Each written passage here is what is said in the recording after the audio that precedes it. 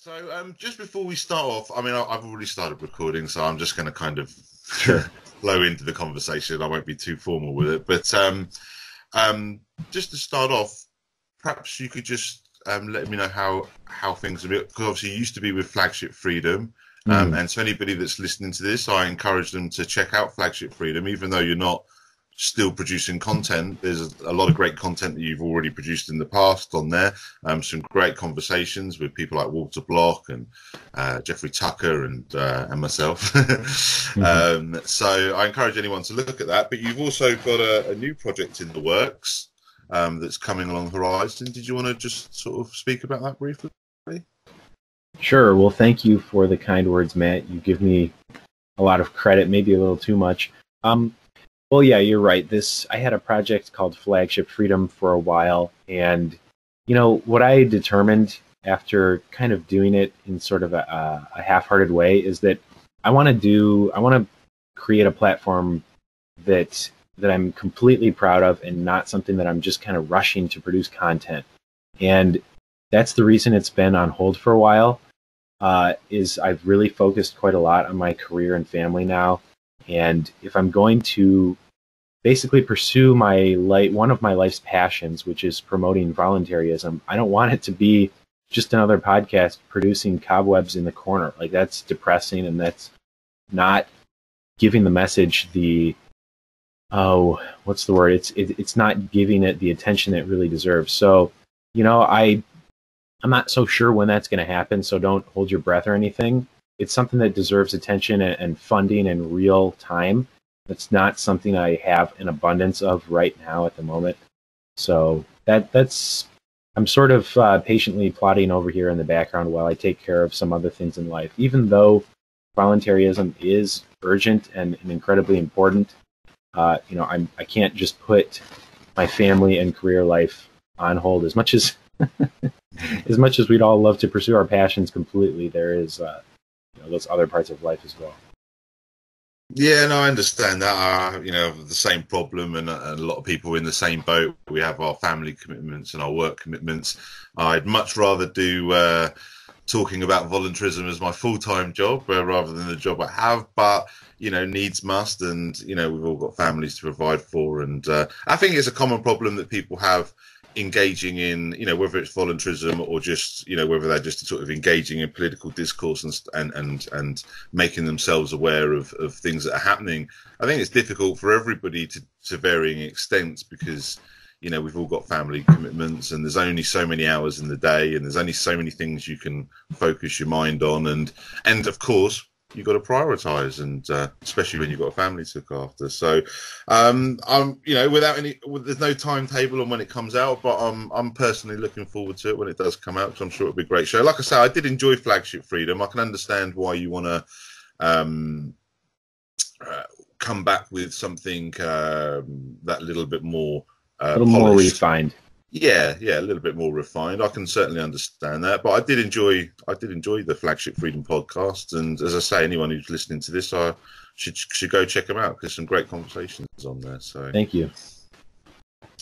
Um, right. So, um, any also anybody, um, we had a conversation on your flagship Freedom, which I'll put a link to to, to the flagship freedom um, website and also a link to that specific conversation that we had in the past where um, you kindly had me on your show and I was able to sort of speak about nations of sanity and introduce the concept. And just very briefly for anybody that's listening here that doesn't already know what nations of sanity is about, um, it's basically the concept behind that is to try to um, actually create a free society. Um, we assert that the only way to create a free society and the only way to define a free society is to establish the non aggression principle as the law uh, through a peace agreement, basically making it the terms of peace.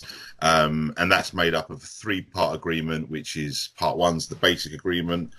Part two is the lines in the sand, which is like the limits of tolerance, just adding that extra clarity to the non aggression principle. And part three is rightful ownership.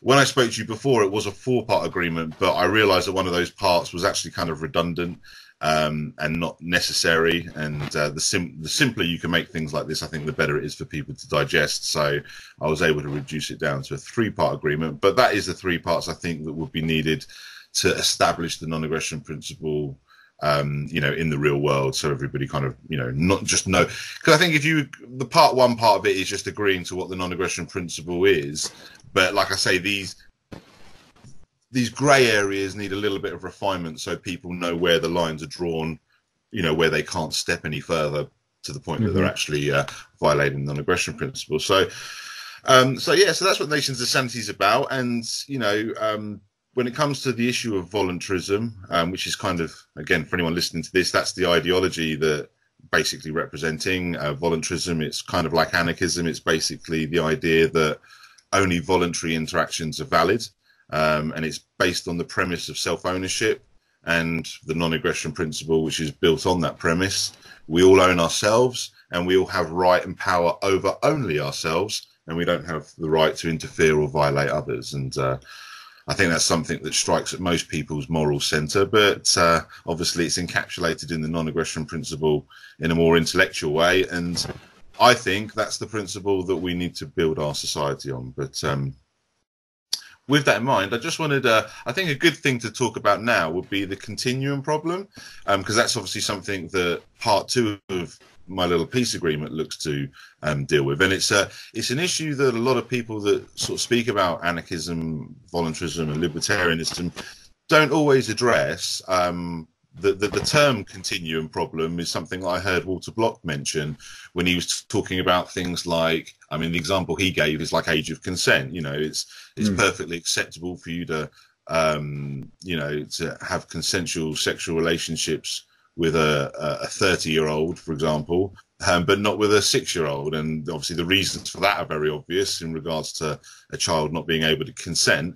Um, so the you know the, the the black and white of where one side sits and where the other side sits very obvious but the continuum problem describes the fact that there isn't necessarily an objective point where one becomes the other. And there is a kind of grey area from when a child becomes an adult. And it's not the only example of a continuum problem. Another example I sort of talk about is, you know, I could I could swing my fists in your general direction if I'm standing hundred feet away from you, and I'm obviously not aggressing against you in any way.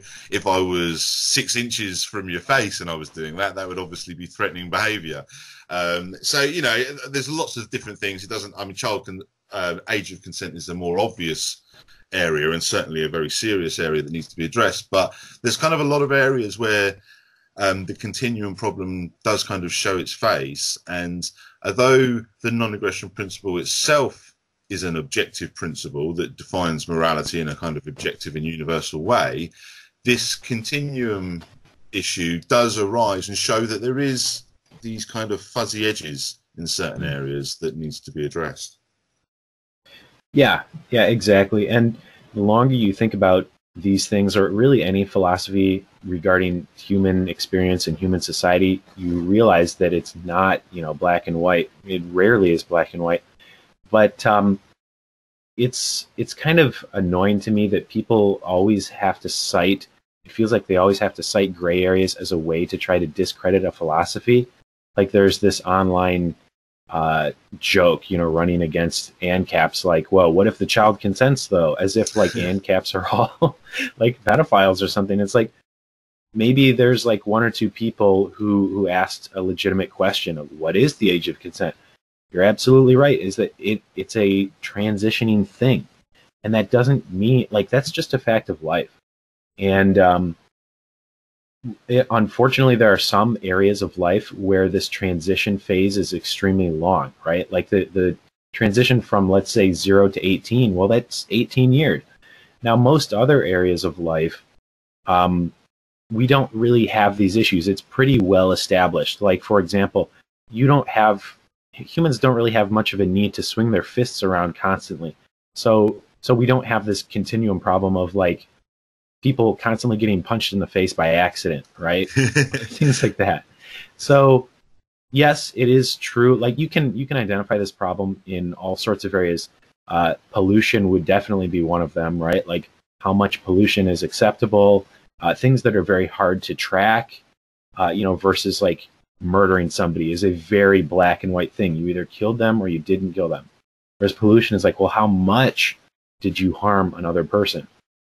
And I don't think it's a way to discredit any particular philosophy because they all suffer from this sort of thing at the end of the day. It's just something you have to be aware of and try and basically try to set up a, a sane, reasonable system. That this is it really takes just being reasonable. And we're really not competing for what's a perfect philosophy. And that's something I found myself getting caught up in uh, over and over was like I identified these weaknesses in voluntarism or proper uh, propertarianism, and then I, I had to remind myself, look, dude, no social system is perfect. We're not trying to find what's perfect. We're trying to find what is less wrong. And I, I discovered that as a principle. I think there's a podcast out there called Less Wrong. But we're, we're all just trying to find the best system, not the perfect system. And that's that's something, you know, that people hold us to a standard of perfection. Meanwhile, just look at you know the state, look at the government, look at communism. Uh, these systems are not only far from perfect; they're horrendous. So it doesn't bother me too much now as I've gained a little bit of wisdom in my life. You know, I have a child of my own. I realize he doesn't have the ability to make good decisions for himself uh, all the time. In fact, most of the time, he's only one and a half years old right now. So yes, I do have to carry him around against his will sometimes. Sometimes I have to impose my will and, you know, not let him eat what he wants to eat all the time. And that's okay. You know, adults, people who have a good, well rounded uh, worldview, uh, th- those people are reasonable and those people will usually never have problems in these gray areas. So it, it's, a, it's something to be aware of, but not something to despair over. Definitely, I definitely agree, and, and it's important as well. I mean, one of the um, articles on my website that sort of touches on the continuum um, issue that doesn't call it the continuum issue, um, that's something I heard from Walter Block. I think it's a good way of describing it. Um, but one of the sort of metaphors I used in one of my articles was, and I think I might have spoke about this when we spoke before, um, was called "Where the Desert Meets the Grassland." Hmm. Um, and it was kind of using a kind of geographical representation of what we're talking about by sort of saying, right, you've got the desert and you've got the grassland, and then you've got this area where one slowly becomes the other. That's like a little bit harder to define. This sort of in between area, um, and the point about that is it doesn't change the fact that the desert is the desert and the grassland exactly. is the grassland. The fact that you've got this kind of little in between area where you're not quite sure exactly where one becomes the other, and you know, reasonable people could debate, oh, well, actually, you know, this is where it starts because this is where there's no more grass and it's only sand, and you know, things like that. But when you're standing in the middle of the desert, there's no question, you know, and there's only sand around you, you're in the desert. And likewise, if you're standing in the middle of grassland and there's nothing but grass around you, you're in the grassland. And uh, and the reason why I kind of you invoke that is because it's it's reminding people that the, the, the dichotomy that, that you describe with something that's a violation of non-aggression principle and something that's not, that isn't invalidated by the potential fuzziness of the line in between. You know, you've still got that dichotomy. You've still got the desert being the desert and the grassland being the grassland. And the fact that you've got this in between area that's harder to define doesn't change the fact that you've got those two distinct opposites. Um, and likewise, uh, I mean, just touching on on sort of age of consent thing, you know, when it comes to that, it's it's really about the meaning of consent, and we understand that consent requires an understanding of what you're consenting to, and we basically define children and adults by their capacity to understand and um, take self ownership of themselves. And we understand that a child is still developing, is still learning about the world, still understanding concepts. And while they're going through that development stage, there's a lot of things that they simply aren't able to consent to because they don't understand it properly. They don't understand it to that sufficient degree. And this is a kind of standard that we kind of already recognize in the modern world because, you know, even in the modern world, children can't consent to legal contracts and obviously you know things like sex and drugs and stuff like that are, are a give me but we you know we understand that children can't consent to these things but also in contract law it's understood why it's, it's understood that, I mean, even when you're coming out of children, even when you're dealing with adults, contract law sort of dictates that both parties understand. And it's one of the reasons why um, one of the things that's been put into contract law is whenever there's any ambiguity over a particular point in a contract, the benefit of that ambiguity always has to fall on the person that didn't draw up the contract. mm. um, to sort of guard against, um, you know, you know, dishonest practices where people are trying to get tricked into things and stuff like that. So I think to a certain extent, this is something that's obviously recognised in society. That just like a lot of things about the non-aggression principle are recognised in society today. Um, just it's just not applied, obviously, consistently. Um, and another point that I think is worth mentioning when it comes to the issue of children and and and our roles as parents or guardians for them. And this is coming on to another subject, which is the area of implicit contract. Because you might talk about the fact that, well, you know, there's a lot of times you have to override the will of your child. Your child might want to do something that's potentially dangerous or harmful. And as their parent or guardian who's taken the responsibility to look after them, you obviously will override that. Um, but I don't kind of view that as necessarily um, violating their will because, as I say, they're not at a stage where they can truly understand, you know, a lot of the choices they make. And this is where the implicit contract comes into it because. Um, like I've often had, and although again it's a bit of a ridiculous thing on the face of it, but it's a good way of exploring the principle. We often have people talk about saying, "Well, is it a violation to even bring a child into this world because you're obviously doing so against their will?" right. and although that might seem facetious on the face of it, there is a certain um, validity to the point that's being raised, which allows for an explanation on the area of implicit contract, because this is where implicit contract comes in. It's it's it's reasonable to assume when when when when you have a being that can't confirm their own sort of consent they can't you know tell you a, your child can't tell you ahead of time that they want to be born and brought into this world but it's reasonable to assume and this is what I mean by implicit contract, it's reasonable to assume that your child would want to be brought into this world, that would mm-hmm. that would choose existence over non-existence if that choice was presented to them. And obviously, you know, in the absence of them having the power to make that choice, you make that choice for them. But that's part of being a parent or a guardian is you're making choices for them, but you're making choices that it would be reasonable to assume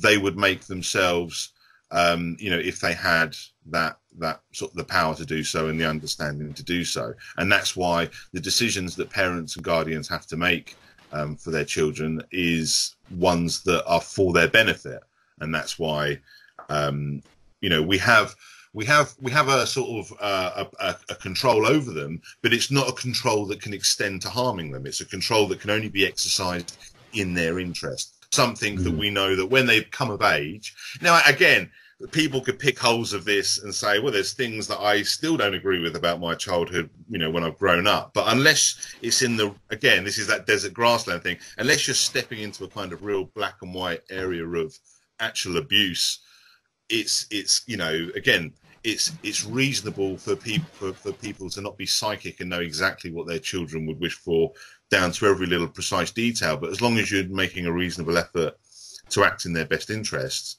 um, you know uh, that and again this is where this is where that um, strive for perfection can cripple us a little bit and we do have to step back and sort of say you know sometimes it's about being rational um, and when it comes to these kind of murky areas and these dividing lines it's about being rational over things. And you know you, you can pick holes out of things till the end of time to a certain extent it's important not to get too bogged down in that kind of thing.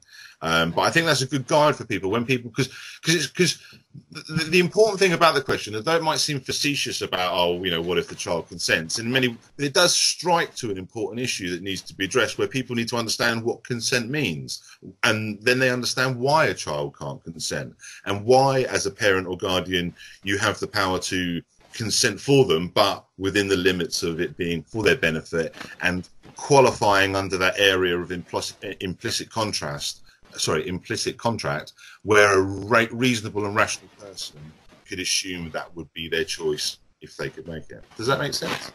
Oh yeah, of course. And I guess I'll just say one more thing on the topic of gray areas with a concrete example. So, like the more, well, I'll start with the abstract here real quick. The the the more that society is existing in gray areas, well, that's worse. You want it to be as much black and white as possible, just for the sake of simplicity, obviously. So, an example of that would be looking at the absurdity of, let's say, like uh, ethno nationalism, right, or like white nationalism, or any any race. By now, the world is so mixed, and people's genes are so mixed that like probably a great majority of people have a little bit of everything in them. So if you had some absurd rule or law that said like that force can be used against people based on the their racial genetic makeup, then you're dealing with your now it's like okay, well half the people or more in the world it's not even clear what they are. And what do you do with mixed people? Like they fall squarely into that category of neither this nor that. So that's why for example a principle like individualism uh, and self ownership and and ownership only of your actions and not you know ascribing blame or merit to somebody based on uh, collective uh, or b- based on being part of a group, right? That's why individualism makes so much more sense than collectivism, is because it's way more cut and dry.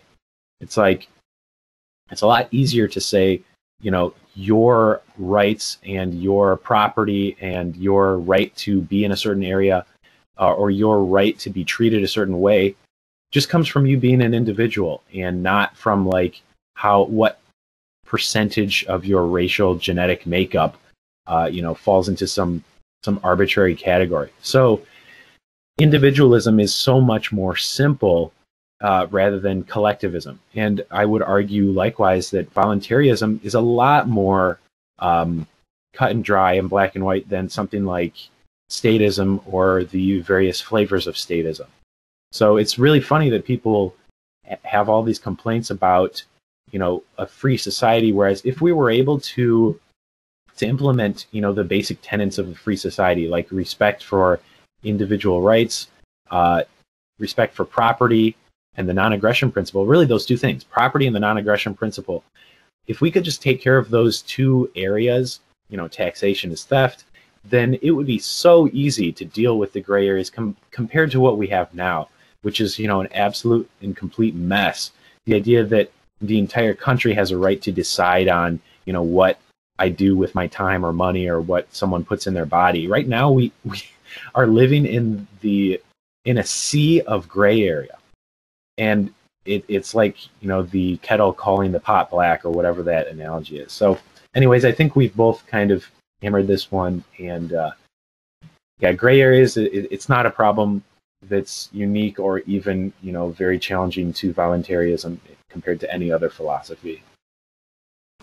Yeah, no, I agree. I mean, one of the things I, I, I love about the non-aggression principle, and I mean, because obviously it's built on that premise of self-ownership, and you know, it's a principle that that cut straight through nonsense like racism and stuff because you know it doesn't matter. You're an individual. It doesn't matter what your you know your race or nationality or any other kind of description or category people want to put themselves into. Um, i mean you do also raise another good point about the, why the whole racism thing is absurd um, you know, we are all one species, and even where people want to draw racial distinctions, as you said yourself, so many of us are such a wide-ranging mixture um, I think a lot of people are starting to realize this as they do things like DNA tests and stuff that are becoming quite popular. Um, there was a YouTube video that um, went viral um, relatively recently of um, this YouTuber. Um, she was a young black woman who was very much an identitarian, very kind of mm, right. connect, connected to her racial identity, and she done a um, an ancestry thing because she wanted to find out what tribe of in, in Africa she was a part of and she wanted to do it through her, her, maternal line because that's where you get the mitochondria DNA is only inherited through your mother. Um, so um, that's how, like you know, the, the test was done. Anyway, when she got the results back, she found out that her maternal heritage was European. Um, and she was a little bit devastated by it. And a lot of people online have mocked her for it, which you know, perhaps a little bit unfair. Uh, but it does kind of show how silly her racial identitarianism is um, because there was you know you know she she she thought she was completely black. She looked uh, like a black lady, and her immediate family were all black people, so she didn't suspect that she had this white heritage. Um, but the fact that she did just kind of shows that it doesn't matter. You know, even what we look like doesn't tell you the story of, of our genetic um, background. And there's and I've also seen the converse. I've also seen um, there was a talk show um, many years ago. I didn't watch the whole show because I don't watch talk shows, but um, again, I saw it on a YouTube video, and it was a guy who was actually a white supremacist, some old Right, white guy right. who was actually a white supremacist, and he done a DNA a genetic test, and he was like, I think he was like seventy five percent African. Basically, he was like he genetically he was more a black man than he was a white man, but he looked like a white man. He thought he was a white man. He's same like much like the black lady who thought she was completely black. He thought he was completely white. His um when he done a, a test on his genes, he found out that, it, that he was quite far from the truth, and it was quite funny because yeah, he these are two people that both. You know, in different ways. I mean, you know, obviously the white person who was a white supremacist was a bit more of a nasty flavour of racial identitarianism than the black lady who wasn't necessarily hateful towards white people, but she just was very.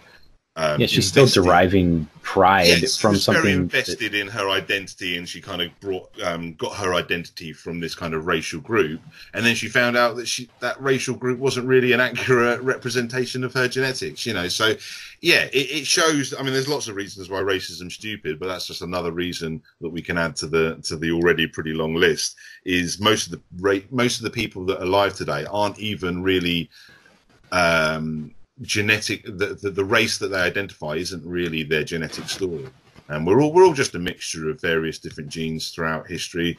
Um, and we're all, and that's again, this is the other thing coming back to individualism. It's not, it's not, it sounds cliche to say we're all individuals, but it's true. We are all individuals. And I mean, even when you look at genetics, that's a family thing. You inherit your genetics from your family, not your race. One of the things I absolutely despise about Stefan Molyneux these days and his obsession with the area of race, where he likes to focus on like IQ trends and stuff like that. And he's trying to present it to people in a way that's saying, well, okay, if you see a black person with a low IQ, that's because of his race and that's because of his genetics as a race. And I'm thinking, well, hang on a minute. If you have a, even if you accept that IQ was 100% genetic, and it does appear to be largely genetic, but even if you accept that it's 100% genetic, it's still not a racial thing. It's a familial thing because you could take a black person that's got a low IQ and say, okay, he's got a low IQ because of his genetics.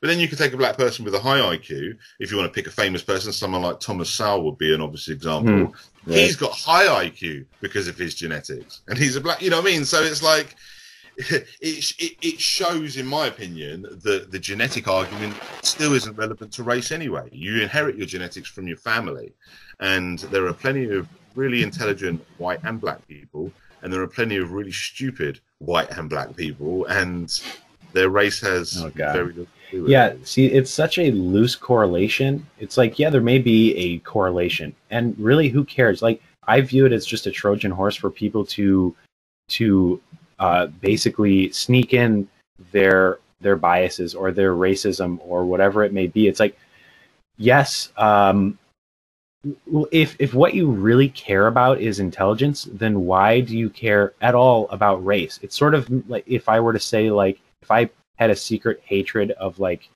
um I don't know, like tall people and it and maybe like 20% of tall people like wore a particular brand of shoe. So then I said everybody who wears this shoe is like a rat bastard. But a lot of people who wear that shoe aren't tall, right? That's a really convoluted example. I shouldn't have made that. But the point is, like, just focus on the important trait if that's what concerns you so much. And Yeah, I don't understand what you're saying because it's like if you segregate, like say for example, you segregated society by IQ, then that society wouldn't be racially segregated.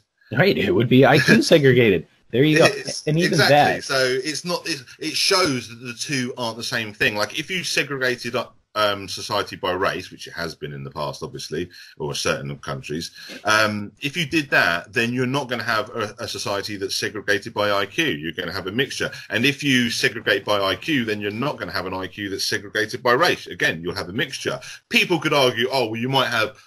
A, a larger number of a particular race in this category and a lot and a smaller well, number in this category. But again, this is just coming into trends and and um, and averages, and it's not really relevant to, to any any individual, as we say. Well, and That's- and at the end of the day, I don't give a shit like so what someone's IQ is. If if that you know, I've seen very smart people who are very ineffective, uh, very lazy, have no principles, no work ethic. Like a lot of the of my uh, role models uh, now that I've gotten a lot more into business. They're not, you know, incredibly intelligent people, but they have a wonderful attitude and work ethic. So what's important to me is your character, like, and, and the actions that you do. Like, it's so so ridiculous to take pride in things that you have basically no control over, and that it's just a it's it's very lazy. Like, oh, look at me, look at I, I won all of these things by a mistake, uh, you know, a random coincidence. I'm a lot more interested in what somebody has done with the card or with the hand that they've been dealt, and that's why I love individualism uh, and you know meritocracy of actions because that it it cuts through all of the noise and all of the BS. And uh, to me, like I, I just feel like uh, voluntarism and individualism in general, it's like such a breath of fresh air. It's like so refreshingly sane, you know, when compared to all of these insanities which people are so preoccupied with. It, and it, all of these associations, uh, you know, it, it doesn't do anything to help dissolve hatred and collectivism and group identity. It's like, look, yeah, you said yeah, it's cliche, but it's it's incredibly true, and that's why it's cliche. It's it's really funny that it has to be repeated. Is that we're all people, and our rights come from being people, not from being smart or not from being a certain race. I mean, you and I are probably preaching to the choir at this point. Uh, most people believe completely in what we're saying. It's really those vocal and insane, you know, minorities on the fringe of both the left and the right, you know, the racists of the left and the right, um, who unfortunately have done a lot to divide society. And it, it only takes a small number of crazy people to, to rip apart, you know, the harmony and the love and cooperation that it really, I think, is the norm. You know, that's, that's would be my hope. I, I think I, like yesterday, we were at the park and I saw I saw Asian people, I saw black people. Now I'm using those terms loosely because they were actually mixed, just like I'm mixed and my son is mixed. You know, I'm white, my wife is not white. Um, and we all got along and we all had a lot of fun and nobody had any property disputes and nobody was sitting there measuring their intelligence and they were we were all talking together and being you know caring reasonable people and that that's why I'm starting to like the the term terminations of sanity because that's what represents sane human interaction to me.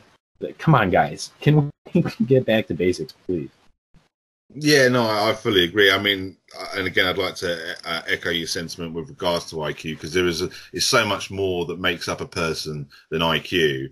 Um, but even for people, as I say, even for people that do like to focus on specifics like that, it still doesn't tie to race in the way that many people are starting to think you know, like I say, thanks to people like Stefan Molyneux who can push this kind of nonsense. But, but yeah, um, again, that is that's the beauty of the non-aggression principle and the concept of self-ownership. It doesn't even have, it doesn't, because the thing is about self-ownership, it doesn't deal with race specifically. It doesn't address it, but it doesn't need to because it's exactly. self-evident that it doesn't exactly. matter. It's self-evident that you're an individual, and the only thing that matters is your is well, like you know, Martin Luther King used to say about the content of your character, um, which is obviously played out by your actions, and that's what the non-aggression principle obviously judges: is your actions. Are you a peaceful individual who respects other people's rights to live as free as you are, or are you a violent criminal who wants to aggress against people, rob them, and violate them in, in various ways? You know, and and that is um, going back to the nation's sanity. That's one of the things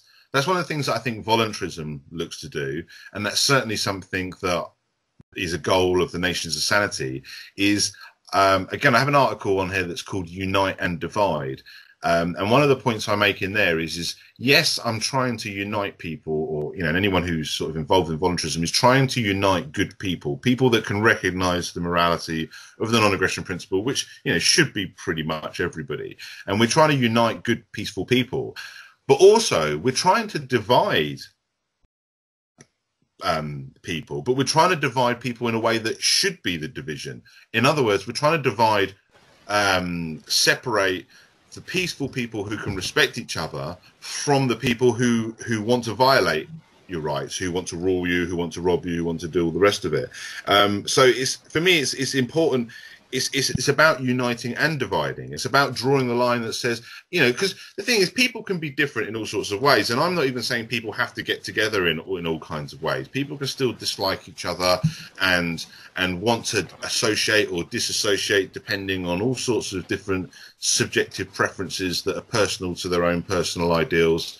You know, that's fine. But there's one area, there's, there's one dividing line, there's only one dividing line that's actually not just worth fighting for, but that we actually have a moral right to fight for, and that is that line that separates non-aggression principle violations from you know peaceful interactions. Because, and and again, and, and actually, this comes on to another subject that I wanted to speak about, which was the issue of morality and the kind of subjective versus objective morality. Because I think it's very important for people when they understand the non aggression principle to understand that the non aggression principle doesn't deal with all morality. What it deals with is just that objective form of morality that defines aggression. Or enforceable, and, at least. Well, yeah. And, well, I wouldn't even say enforceable because um, I mean, enforceable from a moral point of view, yes, but not necessarily practical, because there could be something that, that's a violation of non-aggression principle, but for whatever reasons, it's it's impractical to enforce that. Um, but or, or at least very difficult to enforce it. But the moral point is still there. You know, like basically because um, the non-aggression principle basically says you can't initiate force against peaceful people, but you can use force to defend against acts of aggression. Mm-hmm. What that's basically saying is saying this is the line when you can use force to stop people. If someone's doing something I disagree with, but they're not violating the non-aggression principle, then I can speak out against what they're doing. I can um, encourage them or discourage them in whatever direction I think is better. But I can't use force to interfere with them if they're not violating non-aggression principle, because from an objective point of view, they're not actually aggressing against anybody. So any force I used against them would be an initiation of force against a peaceful person. Um, whereas if they are um, violating the non-aggression principle or attempting or threatening to do so, then I can use force to prevent them because then the force I'm using isn't an initiation of force against a peaceful person, but rather an act of defense against an aggressive person. And that's mm-hmm. that that's that objective distinction. And I think it's an important point for two reasons. One, it's important for people to understand okay, this is the line, this is that line in the sand that I sort of speak about in part two that that is where you can go no further. You know, we might disagree with you before, long before you step over that line, but when you actually step over that line, that's when people can actually use force to stop you. Right. But it's also important to understand it from the opposite kind of uh, perspective in regards to the fact that that doesn't mean we approve of everything that's not a violation of the non-aggression principle. You know, there's plenty of things that I disagree with on a moral level and if it, and certain behaviors that I would not want to associate with people that you know behaved in a certain way that doesn't necessarily violate the non-aggression principle doesn't necessarily fit that objective definition of crime but mm. is nonetheless something I find immoral due to my own personal sensibilities um, and that's so that's why I think it's important because a lot of people seem to think that um, advocates of the non-aggression principle literally advocate and approve everything that's not a violation of the non-aggression exactly. principle. Yep. And that's not yep. the case. We're just saying no. You, we're just saying you can't use force to stop those things, but you can still encourage and discourage. And you know, it would be nice if people were nice to each other and helped each other. I think that's a good thing. I think that's a virtuous thing to help each other.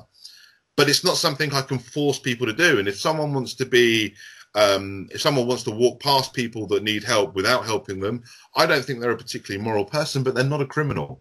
They're not violating the non-aggression. They're not aggressing against anybody. There's no positive obligation for them to help people, even though I myself might have uh, a moral sensibility that that um, obliges me to, to to help somebody because that's what I think is the right thing to do. It's not that it doesn't fall into that objective line of of, of, of aggression. Yeah, and I think the point we can distill from all of this, like the difference between voluntarists and let's say for example like liberal statists you know people who believe that we need to have laws against you know saying racist things you know increasingly people uh, want to police free speech, uh, or people who want to force you to to have to pay for certain things. It's like like you said just a moment ago. You and I are the types of people who would never be rude. Uh, you know, we're very charitable. We believe in helping people. However, however, it's still better to have a society where people have the right to make that choice because choice choice is the very fabric of society and you cannot force the outcome. That's like people that's like equality of outcome versus equality of rights.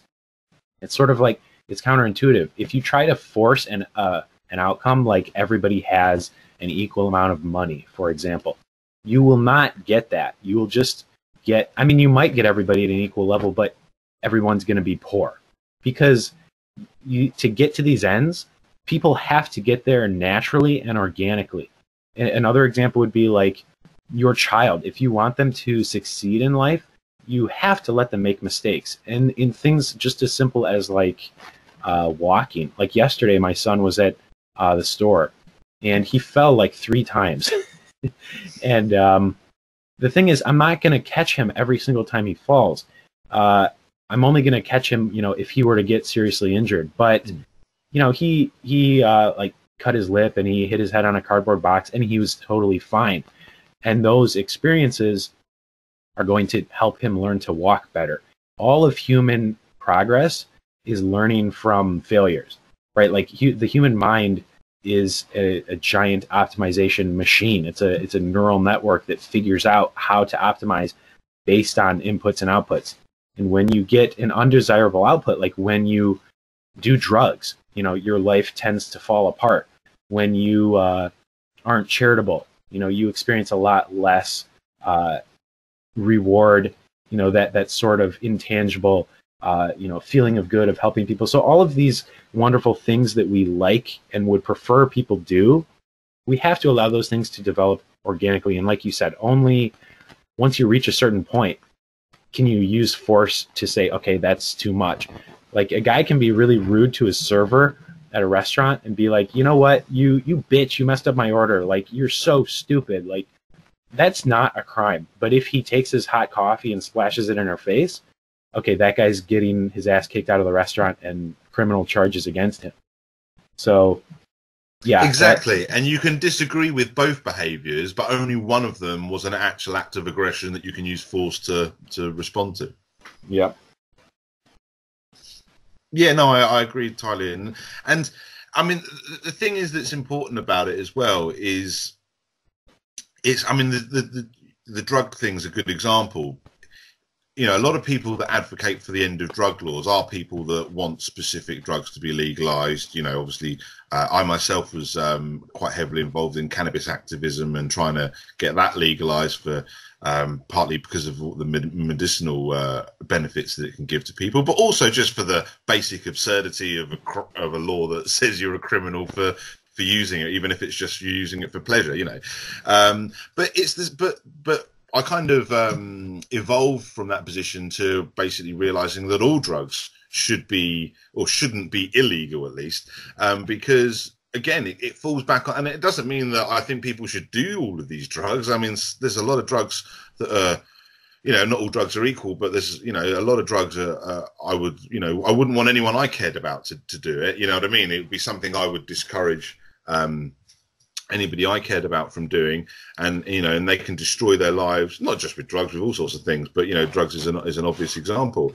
But so when we advocate for an end to the drug laws, we're not saying that we want people to do these drugs. We're not even saying we think these drugs are a good idea or or something that's uh, beneficial to society. We're simply saying that to criminalize the use of them is in itself a criminal act. It is absurd on the face of it, um, and it is an act of aggression against peaceful people. No matter what um, else you can say about somebody's drug use, what you cannot say is that that person is aggressing against anybody else or violating anybody else. And if they want to ruin their own life, then that is. There, and uh, I'm sorry to interrupt, but I just wanted to add on. There are a lot of good things that come out of that right? Like you have to let people screw up their lives, uh, and uh, that will serve as an exa- as an example to other people too. That's one thing people forget is like seeing a drug addict, uh, you know, on the street. Nobody wants to see that. Nobody wants to watch their family uh, member, you know, hit rock bottom. But guess what? that's going to send a very strong, powerful message to everybody else. And that's part of how we naturally evolve towards a better society, you know, is by trial and error. And if you just put a ban on something, you know, people are never going to figure it out on their own. Oh, for sure. And and and and passing those lessons on to others also means so much more when it comes from the mouth of somebody that's actually lived the experience. You know, um, which is why a lot of people that used to be drug addicts are involved in programs to either help other drug addicts or to even warn people from even going down that road in the first place. And their warnings mean a lot more because they they're speaking from actual lived experience and they can testify. You know, as opposed to some know nothing prude who just disagrees with drugs and knows nothing about them and will just fearmonger with a load of scare stories, a lot of which people find out isn't true. And I think that end up damaging because then they think, oh, well, if that's not true, then probably even these other things that were warnings about the dangers of this drug might not be true as well. And in anything, they can end up inadvertently encouraging people when they're trying to discourage them because. Mm-hmm you know, there's been so many lies um, told about a lot of drugs that, that people just don't believe any of it anymore. And then when there is a, a legitimate cause for warning and a legitimate reason to say, oh, you might not want to do that because of this, uh, people are less inclined to believe it because they might just think it's part of the same propaganda as all the other lies were. So it it um, undermines their case massively as well. But uh, but yeah, but also like you say, that's part of life, and some of the most important lessons we can learn in life are through actual experience and are through like like with your son he the the lessons he learned from you know from from the injuries he caused from his fall because you know because they weren't too severe. They were they were light enough they were they were enough to teach him a lesson, and and, and but they were also light enough to obviously you know not be a big deal.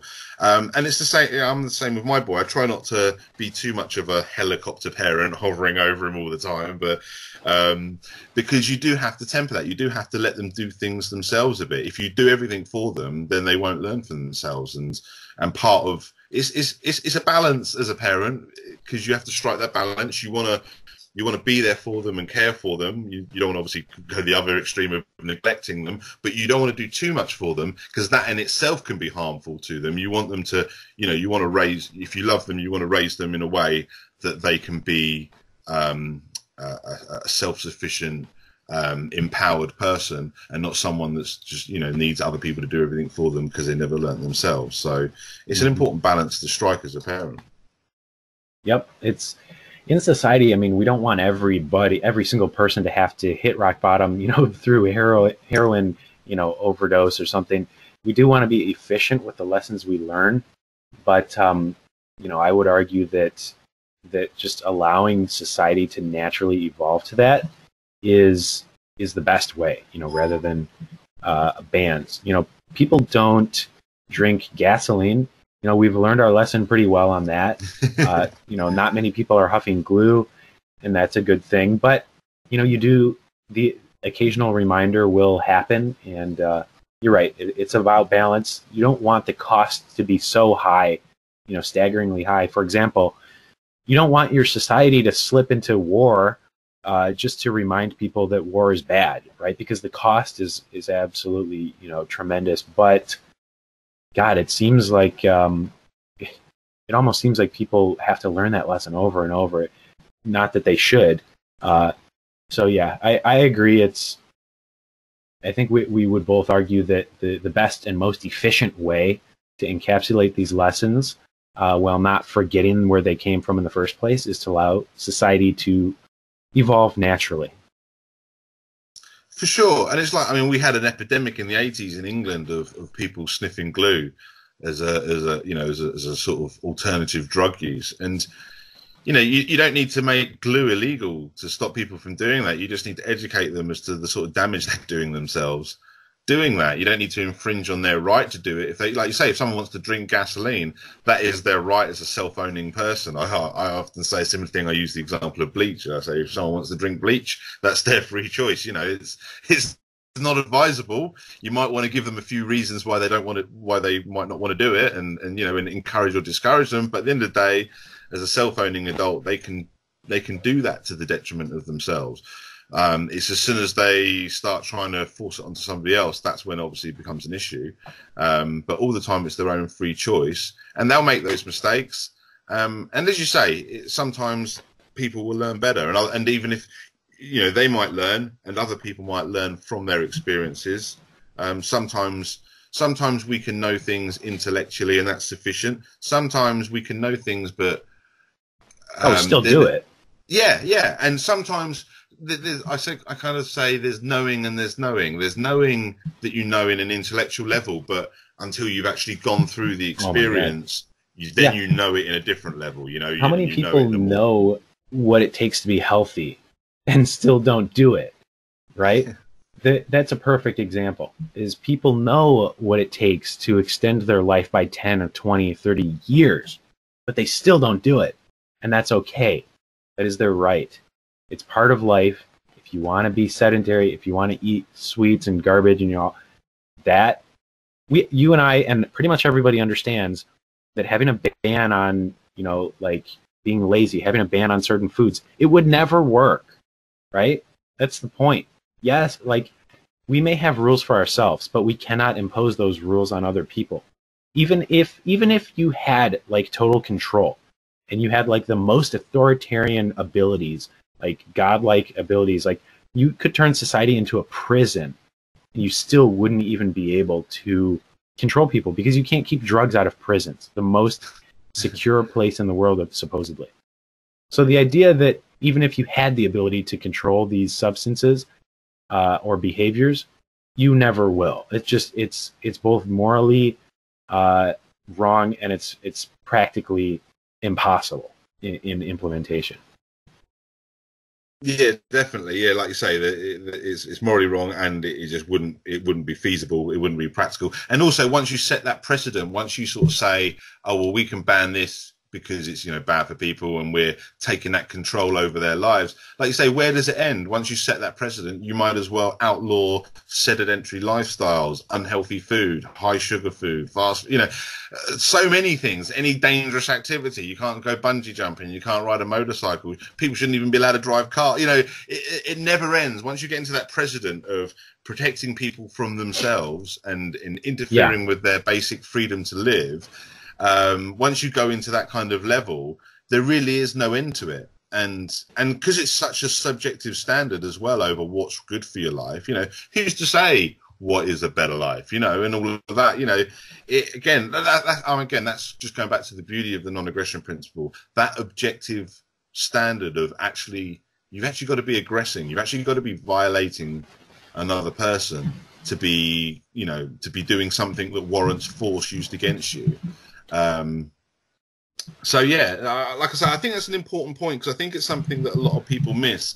Uh, often I hear people that are critical of voluntarists or you know or this this this kind of anarchism or advocates of the non-aggression principle. People that are critical of it often try to uh, strawman you in the sense that of saying, "Oh, well, you just that means that you agree with everything." That's not a violation of non-aggression principle, and it's like no, it's not about that. We all have our own personal uh, ideals and sensibilities and moralities and it's not you know i don't agree with everything that's not a crime but i'm just recognizing that it, what what is and isn't a crime you know and that doesn't mean that i agree with everything that's not a crime it just means i understand that i can't use force to stop behaviors that i disagree with on a more subjective level Yeah, I guess I'll I'll just give one. I think it's a pretty powerful example. There- was a guy named Dan Osman. He was a climber, and he did these extreme, like speed climbs with no equipment, and like it's like terrifying stuff. Uh, I would never do that. I would never advise anyone to do that, obviously. But the guy clearly was like high on life. He he loved it. It was his life. Climbing rocks, mountains. That was his passion, and he he lived a very you know thrilling and rewarding life but he died uh, eventually from this like he fell down a mountain and died predictably does that mean that we would have had the right to to force this man not to do that even on his fatal climb? The answer is no because value is subjective and you know what? He probably in fact before he died he said i think he said like if i die doing this like i'll die happy. Maybe that's inaccurate, but I, I remember hearing that. The point being, you know, part of life is the pursuit of happiness, and that's why we have this thing in American history called the pursuit of happiness. Is we don't say the pursuit of like safety or you know the the guarantee of safety. But no, the pursuit of happiness, you know, the risk. This is this is living, and people like that. That's part of what makes life enjoyable. Is having this adventure and and doing what you want. And it doesn't always work out for everybody, but you know what? That's that is part of life. Life is not perfect. Uh, you know, just look at the animal kingdom. You know, they're eating people not people. They're eating each other and fighting for survival. You know, we are a far cry from that, thankfully, uh, because of these constructs that we've created, like rights and property and things like that. But um, you, you, can't you can't impose a nanny state. Uh, and, and even if you did, you know, you'd sap the the life and the happiness and the joy out of everybody, as you see in all of these communist countries. You know, people come, people. It produces joyless, uh, robotic people. Yeah, and I I like I, one of the things I like about that pursuit of happiness thing as well is that it's the pursuit of happiness that you have a right to. Like you don't have a right to be happy because, for one thing, no one could provide that right to you and, and, and actualize that for you for various reasons. Um, but I like the fact that that's what it is. It's, it's, you have the right to pursue happiness in however way you see fit, as long as you're not violating another person's right to do the exact same thing. And that's what I like about the phrase pursuit of happiness. It's not saying you have a right to be happy. It's not saying you have a right to this, that, or the other. It's just saying you have a right to pursue happiness, which is kind of another way of saying you have the right to live your life the way you see fit. do whatever the hell you want. Yeah, exactly. Exactly, exactly. Also, um, T- talking about that guy um, on the on the mountain kind of reminded me of the issue of euthanasia which again mm. is an area that the non-aggression principle has a has a pretty clear um, stance on, which is again, it's your right as a self-owning individual. You have the right to do with your own body what you wish, as long as you don't harm others, and that does include ending your own life. Now, there's obviously a lot of caveats that need to be put with that with regards to that that means that it needs to actually be your decision and obviously we would in in, in a real world we would want to guard against um, you know abuses of, of of that freedom in, with regards to you know people say well what about some family member who just wants their old parents to die for some horrible reason and and and, and you know and all of that? It's like well you know and and, and tries to uh, manipulate them into something like that. And it's like well obviously you need to guard against it to make sure it is a free decision like you would need to with any kind of um, agreement although obviously the stakes are a bit higher when it comes to life or death um, but the basic principle is clear. And again, that just comes back to that issue we were talking about earlier with, uh, with regards to the fact that grey areas over exactly where you draw lines in certain kind of areas of minutia don't invalidate the principle. And as a matter of principle, the non-aggression principle allows you to kill yourself if that's genuinely what you want to do. Um, I know it's a bit of a morbid th- point to make, but it's it's it's another thing that becomes self-evident. Once you accept self-ownership, a lot of these things become self-evident, and you almost don't need to discuss. Um, once you accept self-ownership, you don't need to discuss drug use or racism or the right to die or any of these things because they become self-evident. You own yourself. Doesn't matter what your race is, you have the same rights as anybody else. You own yourself. Doesn't matter what you want to do with your body, up to and including killing yourself, which, you know, as horrible as that is, that is your right. You own yourself. You have right over yourself and only yourself. And one other little quick point I'd like to make, which just sort of strikes back to the objective nature of this, because um, I don't know if you're familiar with the channel Disenthrall um, which is another voluntarist channel. guy called Patrick Smith runs it. It's a great channel, and, and he's a good guy. Um, but I, we have a few disagreements on a few areas, and one of the areas he, we disagree a little bit is how he defines rights. Um, he kind of defines it as part of a, as part of a, um, a, a mutual contractual agreement. Like you know, you have the right to not be harmed because you agree not to harm others, kind of thing. And I don't, I don't think that's quite accurate, although I can see where he's coming from. I actually think rights comes from an objective fact that, like, um, basically, my, this is my train of logic on it. Is as a simple matter of fact, you are you. I know that sounds redundant, but just to get us started with the ball rolling of where this premise comes from, you are you as an objective fact. And from there, it's not too much of a leap to say you have self ownership because by the simple fact that you are you means that you control you. You have right over you. You because you are you, then you have right over you. Um, and then from that premise of self ownership, the non-aggression principle becomes an objective standard morality because once you accept that you own yourself, once you accept that people own themselves, then um, any violation of that self-ownership, any act of aggression, is objectively a violation of your self-ownership. You know, like if, if someone um, assaults you or, or, rapes you or murders you or, or robs you, they've violated your self-ownership in an objective way. You know, so I, I think that's a I think that's a kind of uh, an objective grounding for how we describe rights, and that's why um, I, have heard the term negative rights ascribed to what the non-aggression principle represents.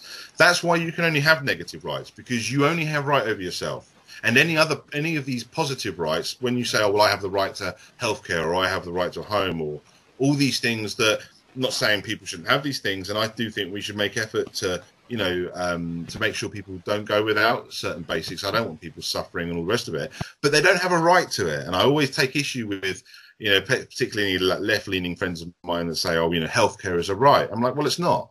It's not a right because if it was a right, then that means people are obliged to provide that right. And then if you then oblige people to provide that right, then you're interfering with their own individual rights as self-owning individuals when you say when you talk about negative rights, when I say, well, I have the right not to be assaulted by you, the only obligation on you is not to assault me. You know, it's not you don't have to do anything for me. You don't have to provide me with anything. There's no positive obligation. There's only the negative obligation of leave me alone.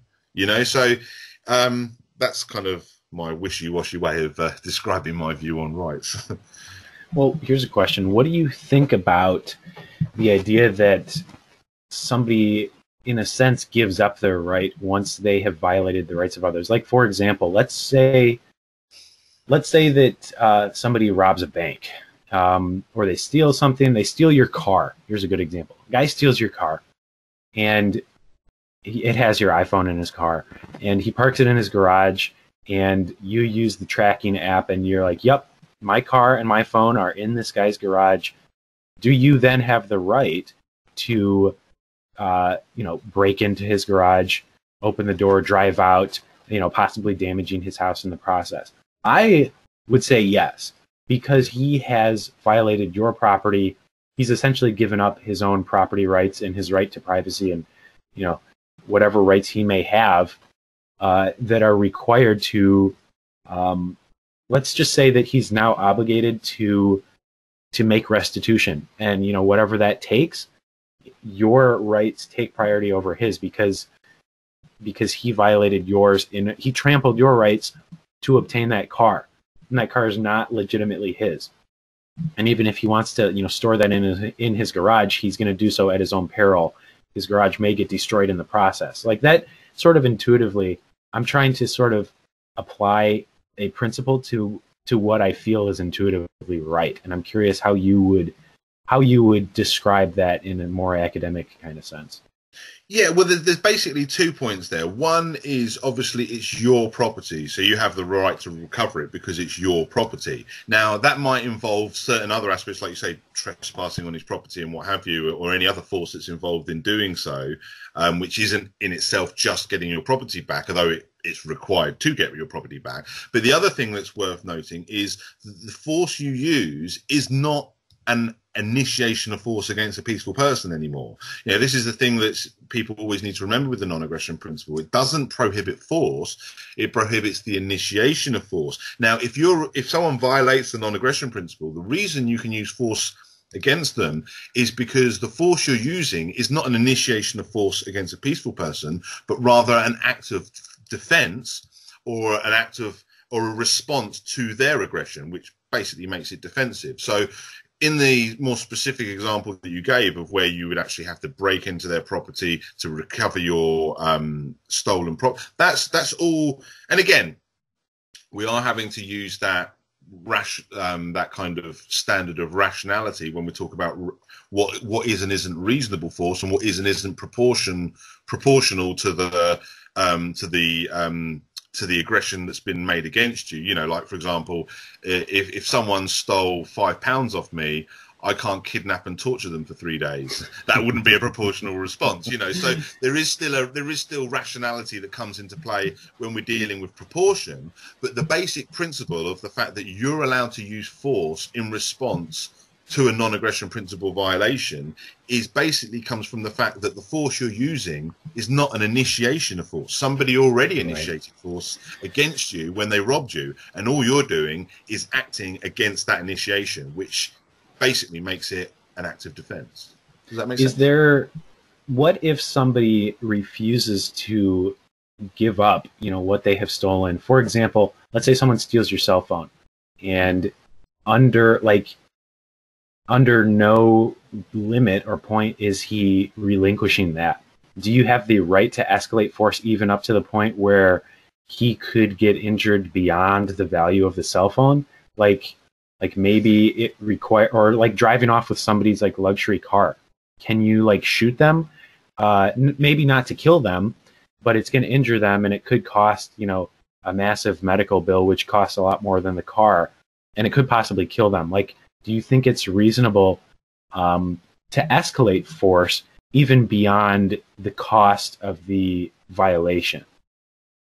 Well i mean again there is a certain level of you know people have to be reasonable and rational with regards to sort of certain standards. But but with regards to dealing with the objective principles that come into play here there's a there's a few caveats that needed to be added. But generally speaking you can use force to recover. And any any escalation of force, like for example, if you're trying to recover stolen property and the person's not giving up, they're escalating it, not you, because mm, they're the one. Do you see what I mean? They're the ones that are continuing the act of aggression by continuing they're trying to maintain that theft. You're acting to um, undo a crime or prevent a crime, and they're acting to further a crime. So the escalation of that issue is their fault, not yours, if that makes sense. That um, is, makes perfect sense, actually. But also the other issue, the, the, the, the thing that you want to, like, if you want to sort of um, go the other way and sort of temper people going over the top with their responses, is also important to remember. Like I say, you know, um, and I use the extreme example of, oh, someone robbed the fiver off me, so I kidnapped them and tortured them for three days.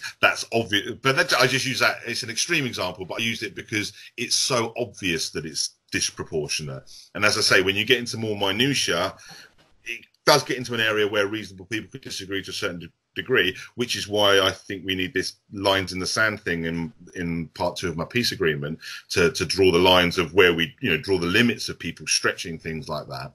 But basically, like say for example, someone stole your car and you started wildly shooting at them.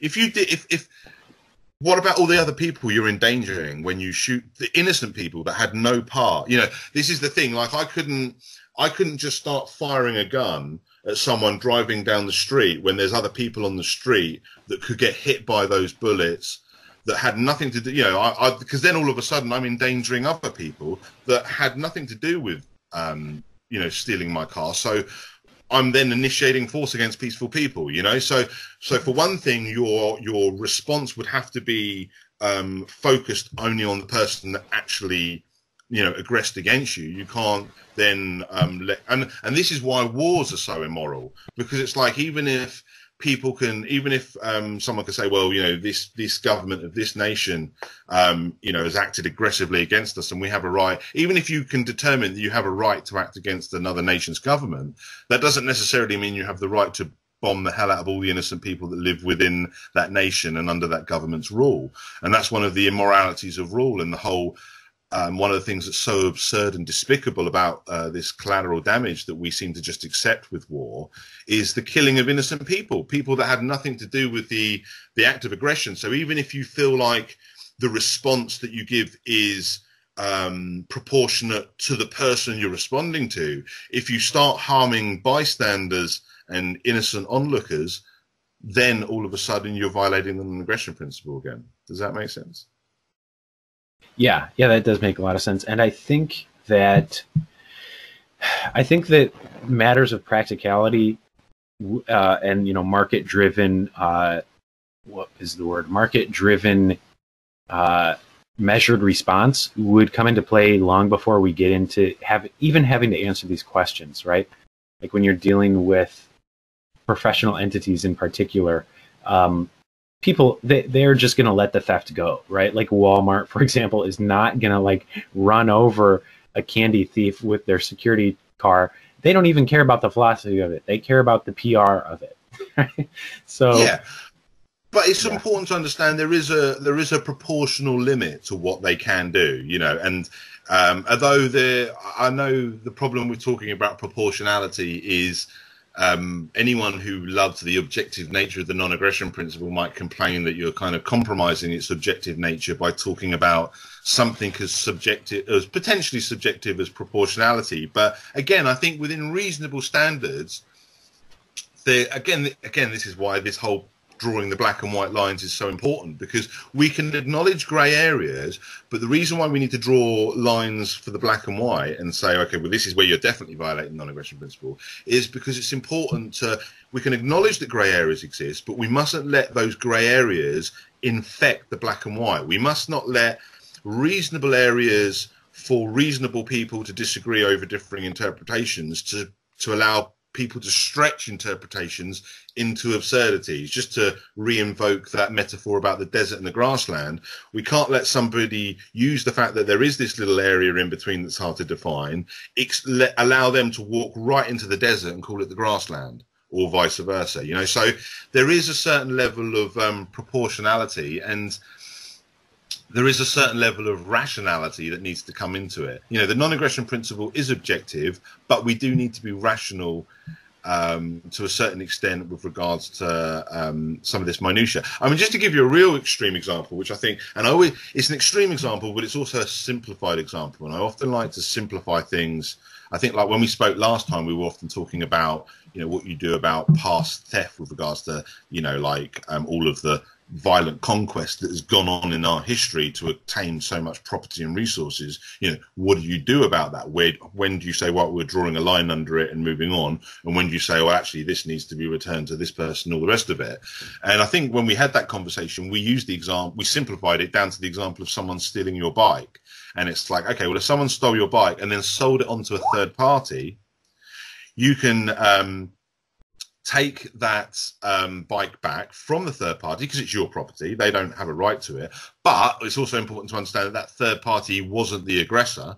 Um, the person in between who stole it from you and then sold it to the third party is the aggressor because they, they aggressed against you by stealing your bike and then they aggressed against the third party by essentially stealing their money because they sold them a bike that they didn't actually have a right to sell, you know, stuff like that. And we use that as an example of, well, that's an area where if that applied to like the historical context of property, we could um, right those wrongs. But what if, again, using the bike example, what if someone stole your bike and then sold it on to somebody who then sold it on to somebody else? And by this point, the people that are selling on had no knowledge of its original or nothing to do with the original theft. And then generations go by because you died, and and the the the um, the bike can no longer be traced back to you, and you know, and and, and you have that that, that the, this this degree of separation where the rightful owner is no longer around to claim that bike because it they're no longer there, and the person who stole it is no longer around to to you know to take compensation from or whatever, and all you have left is voluntary trades basically you have to admit that those people are the rightful owners because they voluntarily traded it from somebody else who voluntarily traded it from somebody else who voluntarily traded it. And even if it was going way back originally stolen the original owner of that is no longer around to compensate. The original thief is no longer around to punish. All you have between um, all you have is voluntary transactions which you know and again, for anyone listening to this, rightful ownership, according to the non-aggression principle, is acquired through creation or voluntary trade. So it is yours rightfully. And I just, um, I forgot why I was actually talking about that, but uh, sometimes I lose my thread. yeah, it's just another example of like at some point, ju- you know, perfect justice becomes impossible, and and we can't really lose too much sleep over that. I think in the end. Yeah, and oh shit, that uh, reminds me of what I, why I went on that little tangent was um, again, I like to s- simplify um, things to just to kind of make the principle more clear and then re-extrapolate it, and just go into the thing of sort of like wars and collateral damage because I remember having this conversation with somebody and they kind of put it to me well, like you know, well, what is someone you know, if you're being, should you just let yourself die under attack because you don't want to retaliate because your retaliation might hit an innocent person? And I kind of um, simplified that to the example of, okay, say, imagine there's somebody that's shooting at you, and you've got a gun so you can shoot back, but that person is using an innocent person as a shield. Mm-hmm. So they're shooting at you and if you don't shoot back, they're going to kill you. They, you know, they've missed you a few times, but they're still shooting at you, and they're trying to kill you. And your only hope is to shoot back and try and kill them. But there's a chance you might kill the innocent person they're holding. Right. In that in that situation, you would be allowed to act to defend your own life, and although the innocent person shouldn't be killed because of this. The person that's responsible for them if they do get killed is not you, but the person that's shooting at you and using them as a shield because they're creating that situation. And you're not expected to, um, you know, kill yourself to save another person. You just can't, you know. So, so if you're in that, or, or, or another example, just to sort of illustrate the same point, if someone put a gun to your head and said, "Shoot this other person," right, right, right if you're a brave person, and I'd certainly like to think that I would still refuse and just say, well, shoot me, I'm still not doing it. But if you're not that brave person, you're not a criminal. The person that killed that person is the person who put the gun to your head, not you, you know? Um, and again, this is an area where, from my own personal ideals, I would like to think that I would have the courage to, to still refuse and to take the bullet to my own head rather than take an innocent life. But the fact of the matter is, is if I didn't have that courage, the criminal the, the, the, criminal isn't me it's the person that's made you know that's put the gun to my head and made me do it. But you it would have to be that level of duress that you're under. You'd have to be under that level of duress. And any other time you know if you if you harm an innocent person then you're you're guilty of aggressing against them. So yeah, um, does, I, yeah. I agree. People aren't responsible for what they do you know when they're when they are being aggressed against themselves. I, I totally agree with that. Um, there's a few other points I want to talk about, but I know our time's sort of running low, so maybe we'll um, perhaps wrap this conversation up, um, but perhaps put a pin in it and maybe have a, a part two um, later a lot later on. Yeah, I we can talk about you know maybe one more if you want, or we can save them all uh, for another longer one. It it doesn't matter. I've got maybe ten or fifteen minutes. Um, well, the only reason I was thinking was because a lot of the things I was looking at, I think they're all going to be quite lengthy conversations. Yeah, and, and yeah. things. I'd like to get into in a bit more meat. I mean, for example, I'd like to speak about the issue of environmental protection, mm, and yeah. I also want to speak about land ownership with you because I've got what potentially might be a unique take on land ownership. Um, I would love to, how, yeah, and how it ties to property rights. But I think it's a longer conversation than ten minutes, so um, perhaps we'll wrap the conversation up now. But if you're up for having another conversation in the future, um, we can perhaps sort of um, you know get onto some Definitely. of these other. Those, in fact, land ownership. Um, land ownership of, of all topics is one of the most interesting to me especially in the last like two years as i've been you and i both have been very like entrenched in these debates with communists and a lot of lefty anarchist type people, if you want to call them that. And ownership of land is one of the one of those areas that's actually quite a hot topic and not quite as cut and dry as a lot of anarcho-capitalists would like it to be, myself included. So I think it's an, an extremely important discussion. And yeah, let's let's have a dedicated talk where we focus a little more on land. I think that deserves a talk of its own. Okay, well, I'll tell you what, then perhaps we'll arrange that and, like I say, make the subject specifically about that. Um, it might tie to things like environmental um, right, aspects right. and things like that and, and general property rights. But yeah, if we if, if you're up for doing another conversation, and we'll try to focus specifically on that so we can really get into the meat of it and really you know, re- really get into a more sophisticated conversation than we would have in sort of five ten minutes. So, um, yeah, if you're up for that, I'd love to ha- speak about that in more detail. And what I might do beforehand as well, I might send you a little message outlining my kind of my stance on it, just so you can sort of mull over it before we do speak again. Um, and perhaps we'll arrange another conversation if you're up for it. Yeah, please do. That sounds great. Okay, it's great. Okay, well, well, I'm going to let you go, Dan. Um, we've spoken for about an hour and a half, um, and um, like I say, we haven't got much longer. So I think we'd best leave the rest of it for another conversation. But I really appreciate you taking the time. Just like our other conversation, I really enjoyed it and I found it interesting. And I think it's important to have these conversations and go through this because there's a lot of topics here that that need addressing um, and mm. need clarifying. And um, I appreciate you taking the time. Oh, my pleasure. I, I always enjoy speaking with you, Matt, particularly because you have a very reasonable stance. And not only is it reasonable, but it's rooted in like defensible philosophy. And, you know, that's one area of danger you get with people who become ideologues who who don't you know they they forget that the other side has some merit and i think we'll really get into that with the land ownership discussion like you and i agreed a lot here and we will agree most likely on the land topic, but not with all other anarcho capitalists or even voluntarists. I think uh, there are definitely areas where um, you know you can't have absolute pure you know monopolistic control over everything. See, now I'm just giving a spoiler of the next conversation, but yeah. What I'm Hello. Hello? I think you might have muted yourself, Dan, because I can't hear you anymore. Hello? Sharing in society and, and not being basically selfish bastard. So, Dan, Dan, can you did you can you hear me? I can hear you. Yes. Yeah. Sorry, you cut out. Then I don't know if you accidentally muted your mic or something, but you cut out then, so I didn't hear anything you just said. oh damn! Get well. If you can hear me now, basically I what I hear you now. Go. Okay, sorry about all that.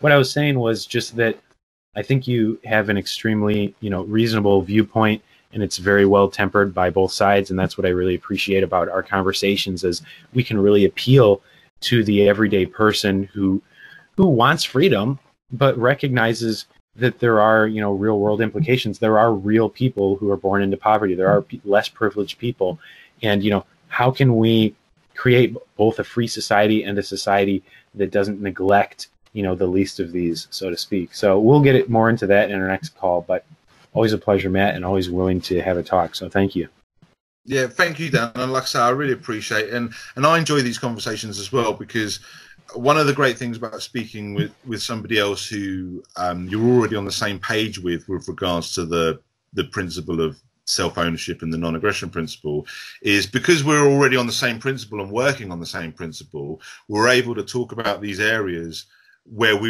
you know, I mean, we've, we've got that common ground that we can talk about these areas um, and and and discuss these minutiae in in in a, in a better detail. And we don't have to keep circling back to issues like arguing over whether taxation's theft and stuff like that. You know, because we're we're agreed on the basic principle, and that and that means that we can kind of explore these more specific areas because um, we're exploring them based on the same principle, and we're just, you know, we're saying, right, okay, well, let's look at how this principle applies in this situation. So I think it's a really a really interesting conversation to have and also a really important conversation to have. So, like I say, I really appreciate you taking the time.